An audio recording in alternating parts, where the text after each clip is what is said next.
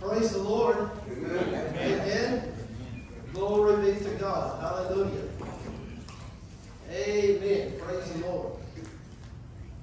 We serve an awesome God. Amen. Yes, we do. How many of you know the devil's defeated? Amen. That's right. Praise God. Hallelujah. Blessed be the name of the Lord. Glory to God. Did you come expecting? Yes, sir. Amen. Praise God. It's, it's good when you can have fun. Amen. Praise the Lord. Hallelujah. Well, let's go to the Lord in prayer. I have a word for you. Blessed be the name of the Lord. Father, in the name of the Lord Jesus Christ, we come before you, and Lord, we thank you for the living Word of God. Thank you, Lord, for giving illumination to my mind and direction to my spirit. Lord, I pray for everyone under the sound of my voice that every ear will be a listening ear and every heart a receptive heart unto the Word of God. Thank you, Father. In Jesus' name, and everyone said, Amen. Amen. If you would go with me, please, to 1 John, the first epistle of John, chapter 2, please. I want to talk to you about the anointing that is within you.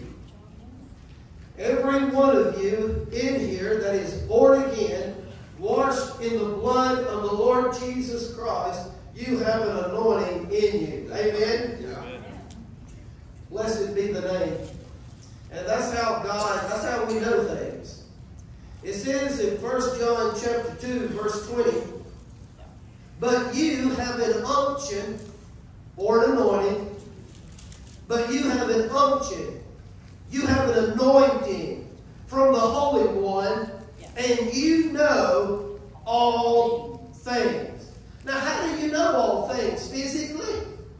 No. You know all things by in your spirit. Amen. You know, there's some things that you just know that you can't put your finger on, but you just know because on the inside of it. That's right. That's how I knew I was called to preach. When I was born again, Mom invited me to a revival meeting, and when I was born again, there was some, there was something on the inside of me that wasn't there prior. Just like my, well, just like that, I'm conscious of my limbs. You're conscious of your limbs. I was conscious of something there that wasn't there before. How was I conscious of it? The anointing within. The anointing. And, and you, if you read the epistle, now let me share this with you. Man divided the Bible in chapter and verses. But John wrote a letter. That's right. And if you follow him, you'll find out he's talking about false teachers in the ministry. Amen? But he says, You know all things. Have you just been around somebody and you just picked up in your spirit, this just ain't right? Why? Because the Holy Ghost is letting you know. Amen? Right in here. This is where he speaks at. Right in here. In your spirit, your spirit is a safe guide if you've been born again. Those that have not been born again, their spirit is not a safe guide. Why do you say that, Brother Dennis? Well, the voice of your spirit is your conscience. Are you hearing? Conscience will, many people out in the world, their conscience, the, they do something wrong. Many, well, their conscience might have bothered them at first, but then they kept on doing it. According to the book of Timothy, the fourth chapter, they, they seared their conscience, and now it doesn't bother them no more.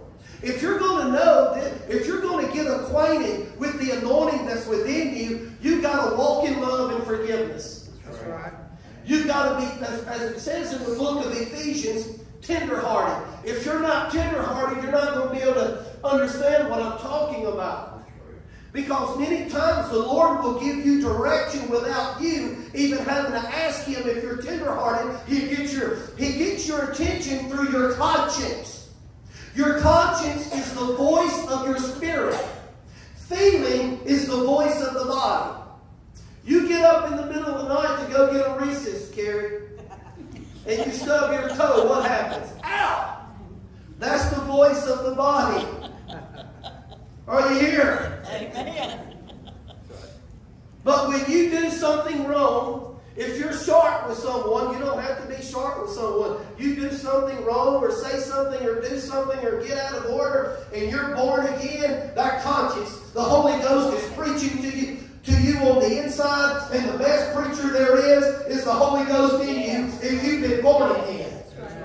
There's people that cannot sleep because their conscience bothering them. Now, I'm going to say this. I'm fixing to take you somewhere in the Word. But every one of us in here can lift our hands. If we would have listened to something on the inside, we wouldn't have did a number of things, would we? Many people wouldn't have married some of the people they married. Afterwards, afterwards, you hear them say, I wish I would have listened to something on the inside. That something on the inside was God trying to tell you something, but you weren't taught to listen to that. Amen. Now that's how I met. I met my wife. Oh, thank you, Lord. I love the Holy Ghost.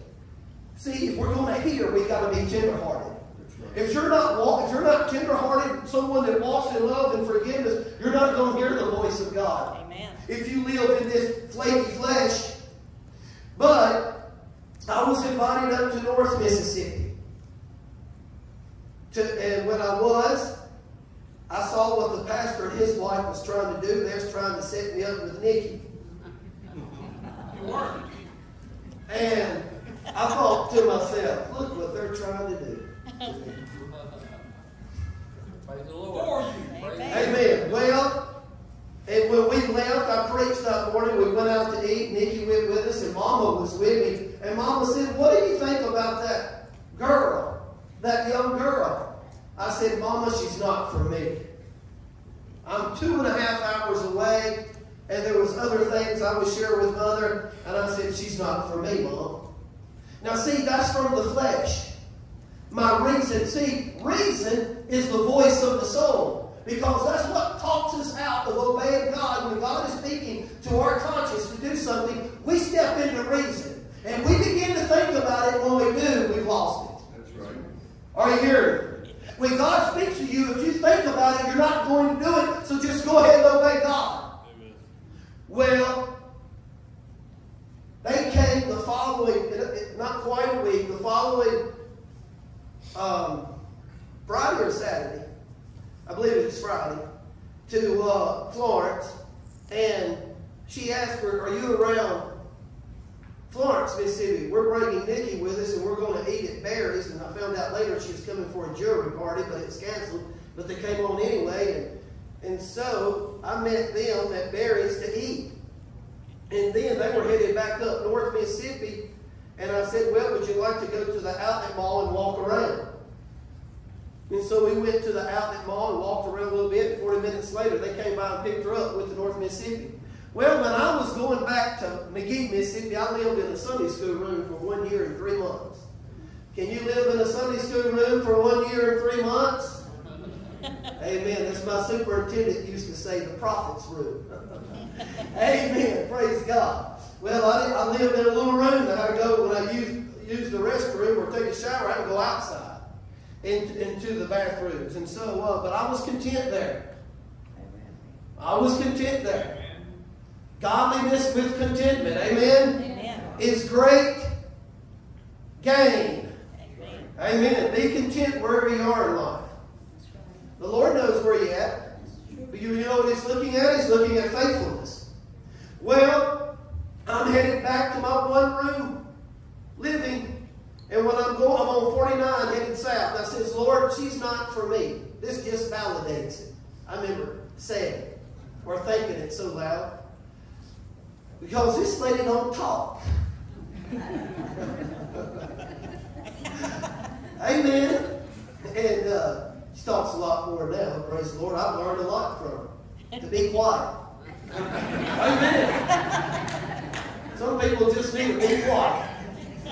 I remember years ago I was in, and I'll get back to the story. Years ago I was uh, living in South Jackson. And this was uh, around when my first son was born, around 92, 93. The Lord spoke to me and says, the best wisdom there is is silence. There are sometimes we can just be quiet. Amen? The best wisdom, oh, thank you, Lord. The Holy Spirit just gave me. And over there in James, let every man be swift to hear, slow to speak, and slow to wrath. But a lot of times Christians practice that verse in reverse. That's right. They're quick to speak, quick to wrath. Amen or only. Amen. God wants us to be slow to speak, That's right. slow to wrath. Amen. Amen. Incline your ear. And so I learned a lot from her. She was quiet, and I thought to myself, Dear Lord, I need to be more quiet. Amen. The, the quieter you are, you don't expose yourself so much. Come on. Well, anyway, I says, Lord, she's not for me. See, I'm up here in my mental faculties. I said, she's not for me. And then while I'm driving down 49 to Magee, Mississippi, she just keeps floating up. To my mental faculties, right out of here, right out of my conscience. I said, Lord, are you trying to say something to me? Well, we gave it one more time. One more time. I said, we're going out on Wednesday, the 8th of March on a Wednesday. And so I was off on Wednesdays at the dealership. They gave me Wednesday, of course, they closed on Sundays, but Wednesdays was my day off. And so we went out on Wednesday. Oh, oh my goodness, there was fireworks. I said, Lord, thank you. thank you, Lord. I almost messed up listening to my mental faculties. But see, what I didn't tell you is, when I came, I, I, before I met her, is the Holy Ghost. We're talking about the anointing on the inside. So listen up, because if I wouldn't have listened to it, I wouldn't be married to her and have two beautiful boys. That's right. Amen. Amen. Are you hearing? We're talking about the anointing in you. You can violate it if you want, or you can be, or you can learn to work with God. That's right. Well, the week before I was to go up north and preach, I canceled the meeting. I misinterpreted the word of the Lord. Somebody gave me a word to the Lord, and I was trying to buy a house at that time. I was getting tired of that one room Sunday school room for a year. And uh, ended up being in there about a year and three months, but that's okay though. I wanted my shower and bath to be inside the house, man. Amen. Praise God. It didn't have no, you know, it had lights, but there wasn't no plug in in there for heat in the wintertime. And so I had to run an extension cord from a Sunday school room in there and let the heater run a little bit before I got in the shower. Amen. And so uh, I, I misinterpreted the word of the Lord, and I thought it was don't go up north. And I didn't go. So the very next morning, I'm at the dealership. There was a light rain, Brian, and all of a sudden my conscience was bothering me. Listen to me carefully. This is where it's at in here. Thank you, Lord. The Lord just reminded me. Remember what He said? God is a Spirit. spirit. And those that worship Him must worship Him in spirit and in truth. That's right. Amen. Amen. And your conscience is the voice of your spirit. Obey it. What did Paul say in the epistles? Go back and read. Paul said, This one thing I do, always obey my conscience. And then Paul said, having a good conscience. Amen. Amen. And the way you're going to be led by the Holy Ghost is through your conscience. But if you live in sin and live in the flesh and indulge in this world, your conscience is going to be seared and you're not going to know the voice of God because you're going to have to have a tender conscience. That's right. Seared start over. Yep, start it over. Repent of it. Get right with God and start living tender before Him and then it'll get tender again. Well, we went out. Well, well, well, I canceled the meeting. This was before I met her. And my conscience is bothering me. And I go and get into one of those high countries and I pray in the Spirit for about 33 minutes, as hard and as fast as I could. When I did, I had the sense in here. And of course, my mental faculties picked it up, Jake. I need to go up to North Mississippi. And I, and I called and says, listen, I'll come. And, and they said, well, and, and, and then the minister called me and says, are you, you, you coming? I said, yes, I'm coming.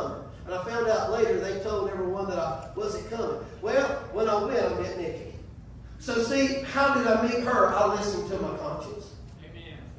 And there were some people healed there as well, but and, and, and the word of God went forth. But here in my conscience, right here, in my conscience, so obeyed it.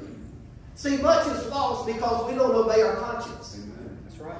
Many, thank you, Lord. Many, many, many, uh, many, many girls, young girls. This one just came to me, and I'm just going to give it to you. Wouldn't have been abducted and killed if they would have listened to something on the inside of them. Something was telling them, don't get in there. Just they had a bad feeling, but they thought, oh, what a handsome man he is. He seems nice. He's talking sweet to me. Or it could be vice versa. Amen? But see, the Bible says you have an unction and anointing from the Holy One, and you know all things. The born again Christian, you should not be caught by surprise. That's right. Are you hearing me? Why? Because you know God, He lives in you. And He's not caught by a surprise. He's not. Amen. And many of you weren't caught by surprise when I said earlier some of the things we did when we were learning to flow with the Holy Ghost. Why did I do that? Told me not to do that, and I did. I shouldn't have did it. Well, see, you're learning. You knew you weren't caught by surprise because you heard something prior. Amen. You know, it's just it's just like Chris Petey back in the back. Lift your hand, Chris. In the back. The one that his birthday is July the 19th. Hallelujah! Well, I had a Ford, no, I didn't. I had a, a Dodge 4x4. And uh, Chris bought a boat up in Georgia. Well, he put a down payment on it. And I said, Well, I'm on vacation that week. And he says, Can I use your, your truck? And I said, Sure, well, I'm on vacation. I'll just go with you. And we just bring your boat back here to Mississippi. And so the night before, in here in my conscience, I'm like, Oh, well, and I had to pray in the Holy Ghost. And I started praying in the Holy Ghost, Jim, Nikki, praying in the Holy Ghost. And all of a sudden, in here, it was so strong. In here, I sensed in the Spirit, don't go on that trip. Not a voice, just a sense. If I go on that trip, our lives are in danger. And I says, Lord, I already gave him my word and told him I was he could use my truck. I says, Lord, you're going to have to give him the same thing that you've given me. And so I got up that morning and went to his house, and when I opened my mouth, he bent over like this right here. He said, It's like our lives are in danger. And how did the now we didn't have nothing spectacular, but I'm going to share this with you. Y'all listen to me carefully. Many times the supernatural is being activated in you, but you're looking for something spectacular That's right. with the senses. Lord, write something up in the sky, not to go to that place. No, the supernatural's already in you. Right. Obey it. Amen. Amen. Because if you don't, I remember hearing about a minister and his wife. They were going out on a on a vacation, and something said to them, "Wait 15 minutes." But they didn't. They were in a hurry. Just something seemed to say in their conscience and their mental faculties picked it up. They just had an impression. I'm trying my best to get it over to you. They had an impression. They had a spiritual feeling, an intuition, an inward witness. Wait 15 minutes. Well, they didn't. And by the grace of God, she lived. They had a horrible automobile accident. But if they would have waited 15 minutes, it would have been avoided. Amen? Amen. Now we see that you know all things on the inside if we listen to God. Look at Romans chapter 8 real quick. Romans chapter 8.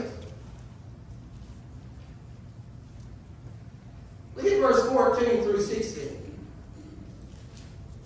Romans 8, 14 through 16. For as many as are led by the Spirit of God, they are the sons of God. Amen.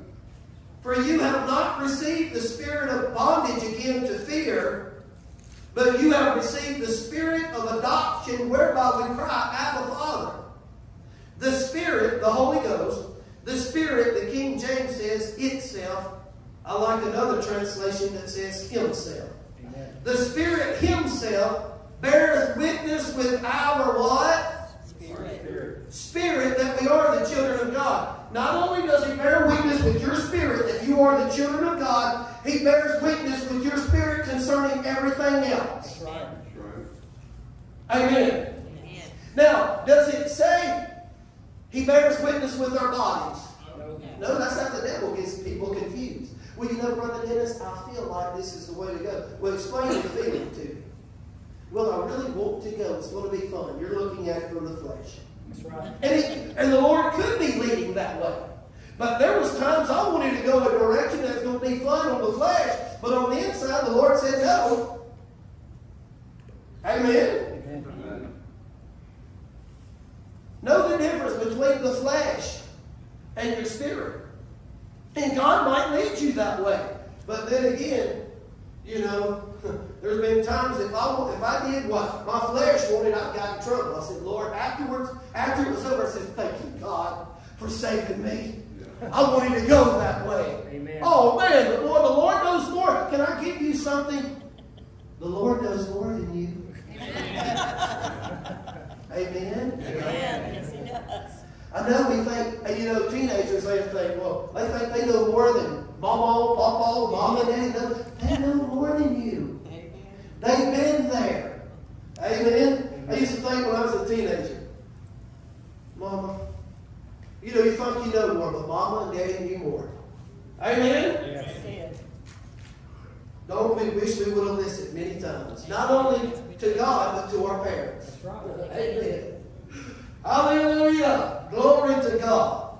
Well, the Bible says in that 14th verse, for as many as are led by the Spirit of God, they are the sons of God.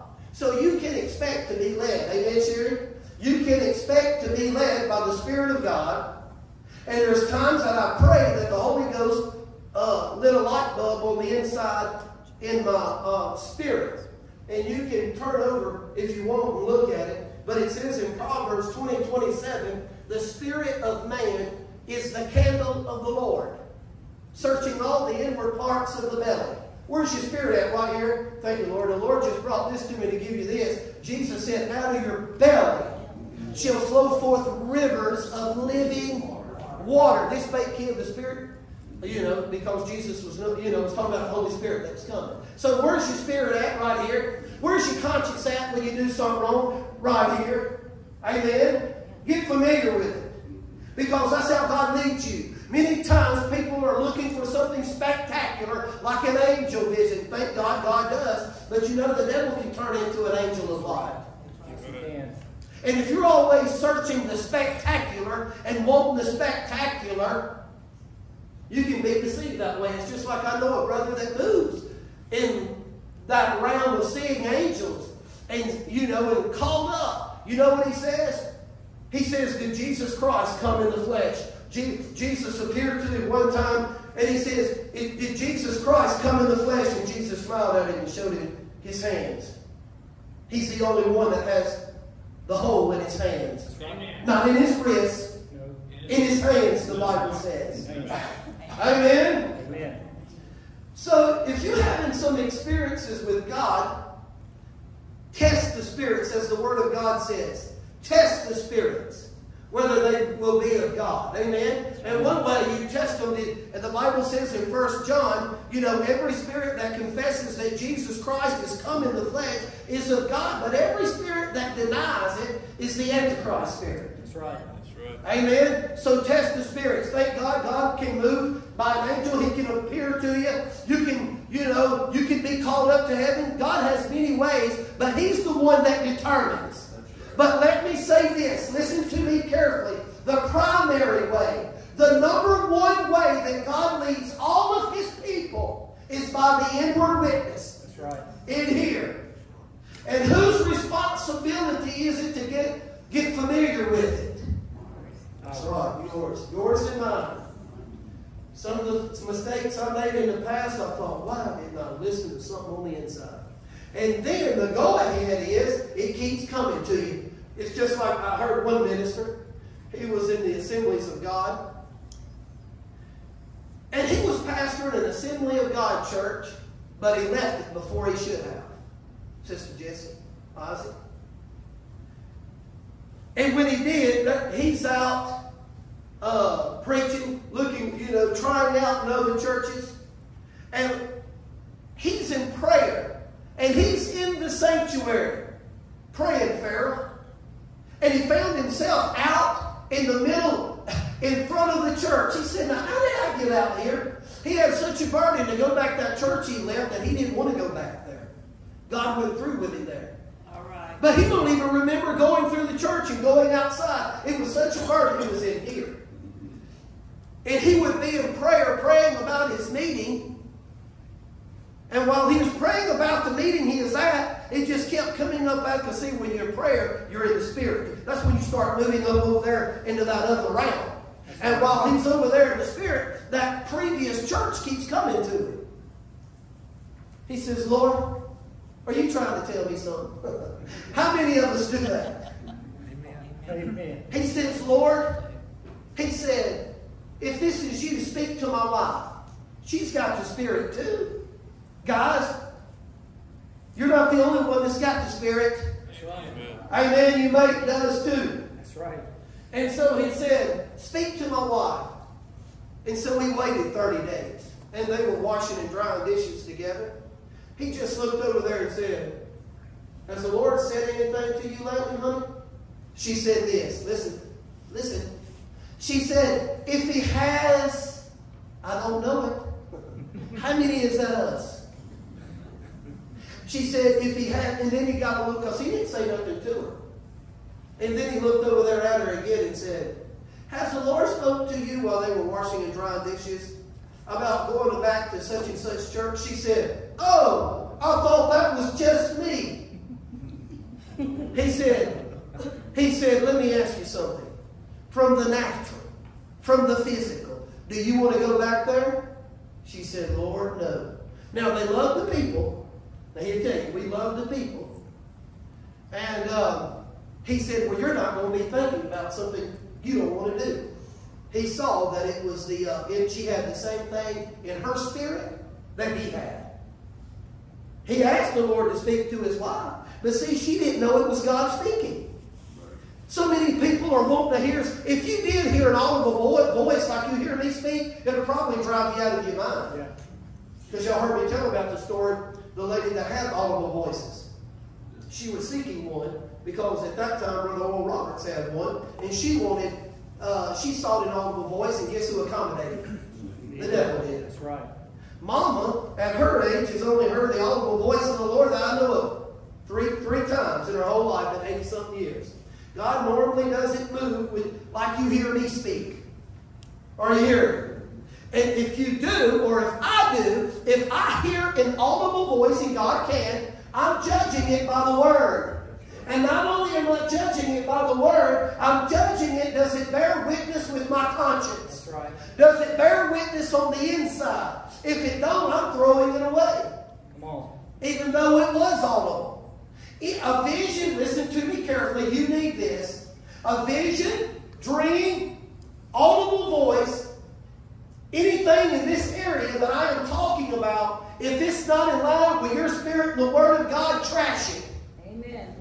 The devil trying to take you another direction off of course with the Spirit of God. That's right. Amen? Amen. I won't accept any dream, any visitation, any anything, suggestion, or feeling if it can't be proven, hallelujah, by the Spirit of God. Are you here? Well, look here with me. Look at Acts chapter 27. Acts chapter 27, real quickly. Blessed be the name of the Lord. Well, let's just look at Acts chapter 27, verse 9 through 11. We see here someone being led by what I'm talking about the inward witness. Now, when much time was spent, and when sailing was now dangerous, notice that sailing was now dangerous. Go back and read this whole chapter when, when, you have, when you have some time. But I'm not going to read it all for time's sake.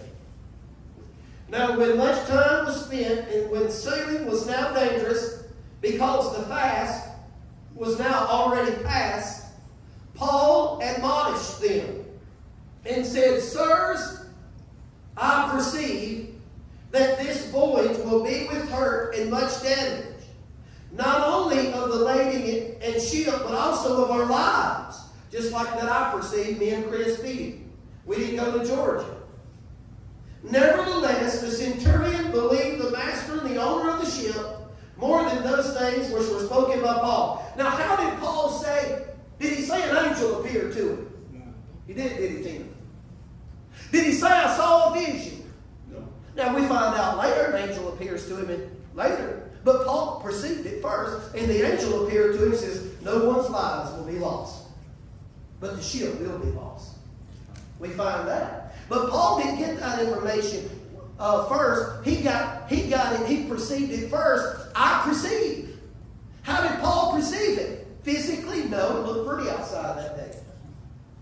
How did Paul perceive it? Spiritually, right here in his conscience. That's right. He, he perceived it in here like you and I perceived not to go to Georgia. How did we perceive it? In here? Oh, it- oh, thank you, Lord. That's good. Listen to me what I'm about to tell you. This is spiritual. This is a spiritual leading. It's through your spirit. Amen? That's, Amen. that's the leading of God. Your spirit is, is how God's going to use you, use you to, to guide you as a spiritual leading. So when you perceive something, don't push it off. Amen? If you push it off, you're going to get in trouble. That's right. You're going to get in trouble. So if you have a perception on the inside, listen to it.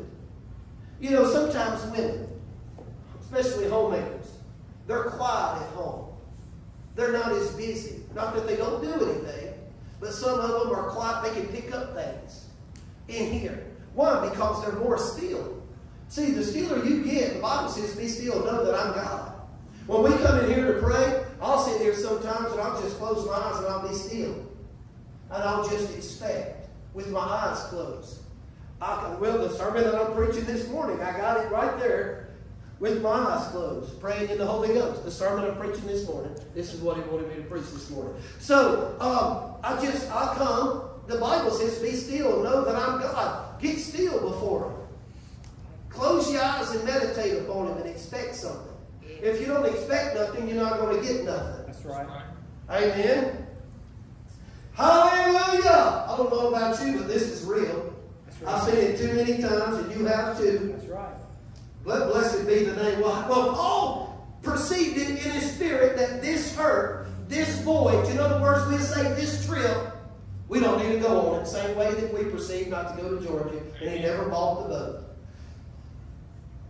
Now, look at verse 21 through 25 of Acts 27. But after long abstinence, Paul stood forth in the midst of them and said, Sirs, you should have hearkened unto me, and not have loosed from Crete, and to have and to have gained this harm and loss. And now I exhort you to be of good cheer, for there's there shall be no loss of any man's life among you, but of the ship. For there stood by me this night the angel of God, whose I am and whom I serve, saying, Fear not, Paul, thou must be brought before Caesar. And lo, God has given thee all them that sail with thee. Therefore, sirs, be of good cheer, for I believe God that it shall be even as it was told thee. Now, see, but Paul picked it up first in here. Amen. The supernatural's in you. If you've been born again and you know Jesus Christ as Lord and Savior, the supernatural's in you. Listen to it. Amen. If you don't, it could cost you. There's been people that were going to work, I've heard in the past, some of them to the World Trade Center. They were going to work all of a sudden, they just had an intuition, don't go today, or had a dream, don't go. And they didn't go, and their lives were saved. That's right. How did they perceive it? Through their spirit. Amen. You can't perceive these things when I'm talking about physically. No, you can't. And many people want God to speak to them physically. Well, Lord, uh, should I marry this person? Well, the devil might speak to you. He'd say, yeah, that's the one, and didn't you marry the devil? I remember Mama used to tell me when I was a kid, Mama used to tell me beauty's only skin deep. Got that right. Amen. Amen. Only skin deep. But when you get to know a little bit, you're like, my mistake. Mistake, Lord. amen. See, what, but, but on the inside, you would already know these things. Yeah, you would. Amen. But see, so many times we want to walk by the flesh. Amen. Glory to God. Hallelujah. Well, that's how I knew I was called to preach, was by the inward witness. Right in here. Right in here. And that's how you're going to know things in your spirit. Somebody says, Brother Dennis, how you know? You just know because God lives in you. That's right. That's right. That's how you know things. Oh, thank you, Lord. Let me share this with you, though. Don't let the devil trip you up because I don't go by something just because it's there one time. The flesh could bring something up to you that it wants, and it will. You know, I was reading last night something that was in my notes that that's been there for a while. I don't know how long. And and it, you know, we can this flesh. We know exactly when we sit down what kind of ice cream we want, and we even know if it's not the brand. Make me like Bluebell, isn't it? There you go. We, you know, we can sit down, we, we, this flesh, we can tell you what, what we want, and we can tell you if it's the bread or not, but many times we can't. When you ask people, say, well, do you know if you're in the will of God or not? Do you know if you're pleasing God? They can't tell you the things that they should be able to tell you. They should be, you should be able to tell people spiritually what you tell people physically. That's right. Amen. Amen. Did you know if that was God or not? Well, I don't know. So you should be able to tell. You can tell me what you heard from so and so physically. You see how far off we are many times? We can tell people this, that, about what we want, where we're going in the flesh. But when, it, when it comes to asking about spiritual things, we, we I don't know. Well, you should know. We should live more. That other world is more real than this world. That's right. It was before this world. In the beginning, God created the heavens and then the earth. And so let's get acquainted with Him. And one way, Jesus said in Matthew 4 4, man shall not live by bread alone, but by Every word. every word that proceedeth out of the mouth of God, Dale. So what are we going to do? Like I was talking to somebody just here recently. They said, well, you know, I said, uh, I said, read a chapter a day. When you do, read it, meditate on it. I said, when you're working throughout the day, when you do it, that one chapter. Say the first chapter of Matthew about the, you know, Gabriel appearing to Mary, telling her about Jesus. That which is conceived of you is of the Holy Ghost. And you shall bring forth a child, and thou shalt call his name Jesus, for he shall save his, his people from their sins. Well, what you do, you read that one chapter and you think about it all through the day. An angel appeared. Use your imagination. And then you, the next day, you read another chapter. You have two or three or four, whatever. Suits your fancy, whatever you feel like. Read the whole book. But when you do, meditate on it. When you do, when you meditate, you feed your spirit. You know that? Matthew 4 4, man shall not live by bread alone, but by every word that proceedeth out of the mouth of God. When you meditate on the word of God and read it, you your spirit is feeding. And when you meditate and it's growing, and then you will know things, you will you be just walking and the Lord will speak to you. Just like one ministry is driving his car, the Lord said, Look to your left, land. He looked, there was a uh, he looked out there and the land was for sale. If I remember correctly, the sign was if you couldn't see, the sign was laying on the ground. He bought it and made he was uh, he would buy land and sell it and make money. He was a businessman. So see, God is speaking and God is living in you. Let's take time to read the Word of God. Let's pray. And when you pray, don't do all the talking. Sit down there and be quiet and expect something with your eyes closed. Amen. And He'll speak back to you. Amen? Amen. But if you're doing all the talking, you don't expect Him to speak back to you, you're not going to hear anything. Are you here? Or have you go home? Amen. Glory to God. Amen. Well, this is good stuff because you know what? This is reality and you need it. That's right. Because there's going to be right down the road, it's just like this one lady that went up to Brother Moore.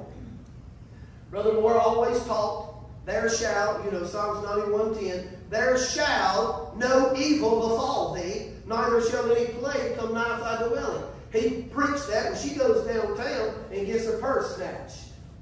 So she goes back to Brother Moore. She says, Well, I went downtown and got my purse snatched. And you said this right here. And he asked her, he said, Well, what was going on on the inside of you before you went? She said, Well, something told me not to go. Well, there you go. That's why you got your purse snatched. God was trying to keep your purse from being snatched, but you didn't listen. You was in a hurry trying to get to that blouse. Amen? Amen. No, listen, if you need to wait 30 minutes, there's been times that maybe mother came in or, or Nikki's mother, and all of a sudden we're going somewhere, and, and my conscience just out of the blue started hurting. I said, I, need, I went into the closet, walk-in closet, not to disturb me, and put a chair in there and pray for about 25 or 35 minutes. And then when I felt like I said, let's go now. Many people would have left. I said, I can't leave right now. I might be interceding for one of your lives. Amen. or my family's life. I know my daddy, he went home to be with the Lord at 91 and a half. And on his 73rd birthday, I went over there and he wasn't home, but my conscience started bothering me. I just sensed his life was in danger. Sure did. Since his life was in danger, what did I do? I threw caution to the wind and started praying in the spirit as hard and as fast as I could for about, I guess it's around 35 minutes. And I felt it leave. Then I found out later that something bad almost happened to him on his birthday night. Real bad. He didn't go into it because he wasn't the one to talk, was he, Sheila? He kept a lot of things to himself. So, uh, what about if I wouldn't have prayed and been, been sensitive to the Holy Ghost in here? He would have died and went to hell because he wasn't saved at that time. At his 73rd birthday, going out to the Hill Club, the Coachlight Club, and whatever club, the Ramada Club. And but thank God Jesus wanted him saved and washed in the blood. And he comes to me on his birthday night to pray him out of physical death and pray him out of hell. Amen. Amen. Jesus, did you know that Jesus loves the sinner? Amen. That's why he came. That's right. Amen. Glory to God. Hallelujah. If he didn't, we wouldn't be in here. That's right. Amen. Blessed be. Amen, Pat. Praise God. Hallelujah. God is good. Do you love Jesus? Amen. Are you going to listen to that something on the inside of you? Amen. How do you get sensitive to it? Through fellowship. That's right. Reading the Bible and fellowship. Leave sin off. Leave it off. Because it, it, you know, you might, you, there, there'll be times where he'll still come to you. But when you live in tender-hearted before him, you'll be able to hear his voice real easy. Yes, Lord. Amen. Praise God. Amen. Amen. So be tender-hearted toward people. Somebody does you wrong, forgive them. Amen. It's just like I heard my superintendent. Well, he wasn't the superintendent at that time. He used to be before the superintendent we have now. He had to go to a church because the church was in trouble. And he taught one of my classes, Brother Davis, and Brother Walter Davis, and, and so he was talking about a guy, he went into the church and said it in order, and a guy came up to him in the church and spit right in his face. Somebody asked in the class, I don't think it was me, I, but anyway, somebody brother, somebody asked, what, what'd you do? He said, I took my handkerchief out, wiped it off, and conducted the meeting. He didn't think no problem of it. Amen? Amen. By doing so, you give those other people authority over you if you retaliate. Yes, you do.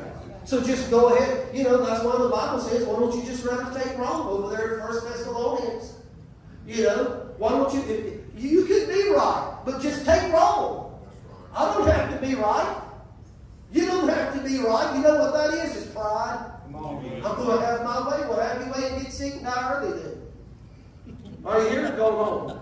I'm telling you the truth. There's many people still been alive today if they had just judged themselves, repented, asked God to forgive them, and walked in love. That's right. Amen. Praise God. Two wrongs never make a right, does it? No. Am I speaking the truth to you or am I not? Yes. Yes, I am. Hallelujah. Amen. Praise God. With every head bowed and every eye closed. If you're in here this morning and your heart was to stop beating, and you know on the inside, you know on the inside that if you was to die right now, you know you wouldn't see Jesus. You know, how do you know? By the inside in your conscience. Your conscience is telling you you need to get things right. And this is the perfect day to obey your conscience. If that's you, you say, Brother Dennis, pray for me. Can you lift your hand up real quickly and put it right back down? Thank you. Thank you. Anybody else? Thank you. Anybody else? Praise the Lord. Maybe you might be in here and you say, Brother Dennis, I need a touch in my body. I need Jesus to heal me. And you say, Will you pray for me? I sure will. He will heal you. You're going to leave out of here with it if you don't, if you if you accept it, and it'll be manifested in your body. You say, Pray for me, Brother Dennis. Let me see your hand if you need a healing. Thank you, thank you, thank you, thank you, thank you, thank you, thank you, thank you. Anybody else? Everybody that lifted your hand, I want you to come up line here in front of me. Just make a line. You can sit there, brother, and I'll come quote the word over you. Just make a line. Get right here like this and look at the, the across and just make a line beside it. Behind, and I'm going to come down the line and lay hands on you. Just come on up. Praise God. Jesus is the healer. Now, when I lay hands on you, you take it